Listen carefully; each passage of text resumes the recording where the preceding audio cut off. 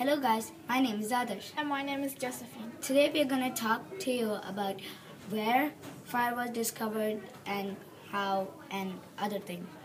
Today's topic is about early humans, technology, discovery and needs. Fire. And now I'm going to show you where uh, fire was discovered. It was believed that fire was discovered right here in Africa because many Homo sapiens and early humans lived there. It was believed that even the lightning was struck there. Fire helps us in different ways. For example, it helps us cook food, keep warm, provide light.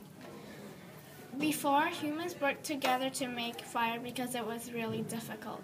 But now we have lighters, furnaces, stoves, and more to help us make fire instead of using wood. And as you can see, they're only using wood in this, and that's all they had. So they used their intelligence to uh, yeah, use their things uh, with more intelligence and make something very useful to them. Bye, that's it for today.